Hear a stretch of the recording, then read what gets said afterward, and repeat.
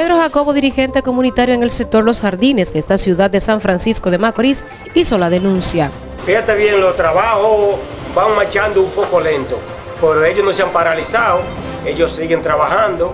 Lo que le pidamos es que, que agilicen más el trabajo porque hay muchos sectores de aquí de San Francisco de Macorís que nada más son estos sectores que lo están esperando.